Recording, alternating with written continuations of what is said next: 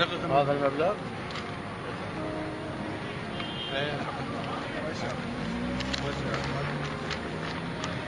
هذا القرار القضائي. تاريخ اليوم 1 10 وهاي الفلوس موثقة. هاي الدولارات. راح يتم تثبيتها بنفس الرقم بنفس التسلسل. المحكمة تعقيد النزاهة المؤرخ بتاريخ 1 10 تم تشكيل مفرز القبور طريق قبور. كمين محكم. وتم إخراج آه، هذا المبلغ من جيب المتهم 500 دولار هو هذا المبلغ اللي ضبط بحوزته آه، عن آه، قرار قاضي أو قرار قضائي عفوا متلبس بالرشوة وهو منصبه مدير عام في سجن السماوة المركزي. ضبط متلبس برشوة قدرها 500 دولار.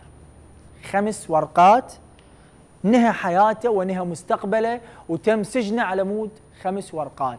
هذا هو ما يحدث في العراق على مود خمس ورقات وأنا متأكد إنه راتبه عالي أنا متأكد إنه راتبه عالي لكن خلاص دمر حياته على مود خمس ورقات يقول آه، مهند مع الأسف هيك نماذج تسيء للمؤسسة القضائية هذا المفروض تصادر أموال المنقولة وغير المنقولة وخليه يقعد على الحصير.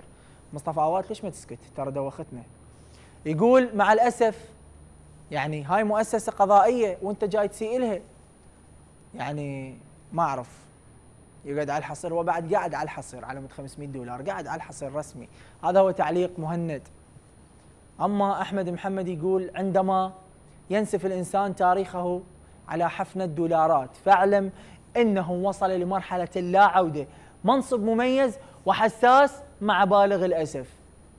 وهذا اللي جاي نحكيه إنه هو منصب مميز وحساس نسفه نسف على مود 500 دولار. هنا المشكلة هنا المشكلة يا أخوان أنت من تجي تحكي مرات تصير حرقة بقلبك. على مود 500 دولار أنت نسفت حياتك كلها وأطفالك وسمعتك وسمعة عشيرتك وناسك وبيتك وأهلك على مود 500 دولار.